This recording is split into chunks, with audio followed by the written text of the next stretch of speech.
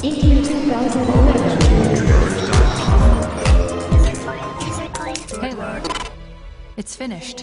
No. I think we're just getting started.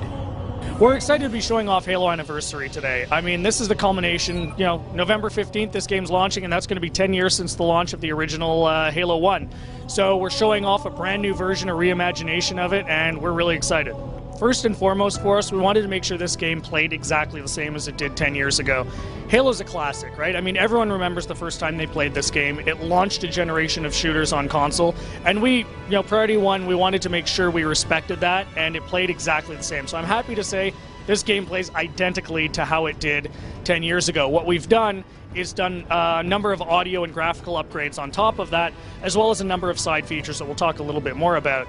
But what this lets you do is play the game you remember and love with that original gameplay, but it looks, feels, and sounds like a brand new title. What you'll find as we get closer to release is we're going to start talking about some other things we've done that will maybe let you alter your gameplay a little bit if you so choose.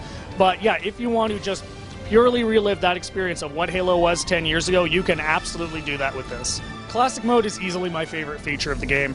Um, the dev team, when we started working on this, we initially had it in the menu. We were going to let people come in and choose, oh, do I want to play this in classic or do I want to play this in new?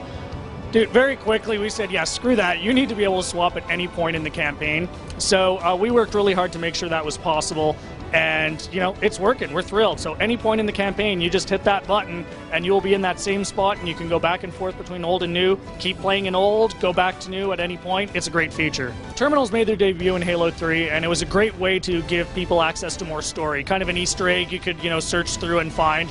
And they're really cool. People really like those and they've been evolving ever since then you know, what we're doing with this is what we think is the next stage in that evolution and taking it from text on the screen to a motion comic animated kind of feel.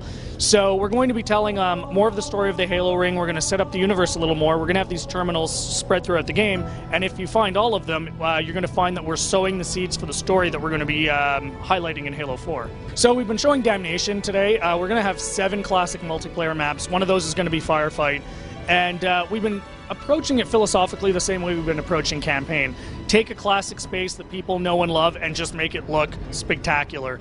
Um, what we're doing a little bit different on the multiplayer side is we're running that in the Reach engine. So that's going to give us a few options. Uh, if you've got Reach and you don't have this, eventually you'll be able to just download those maps. But what it also lets us do is play these old maps with some of the Reach style gameplay. So, for example, you can fly around Damnation on a jetpack, things like that.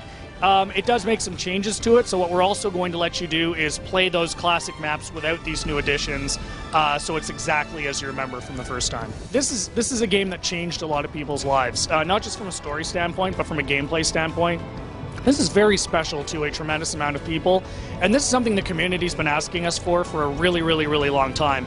I mean, you need to go pick this up if you love the original game, if you love shooters, uh, if you love the fiction, you know, you loved Reach, you're looking forward to Halo 4.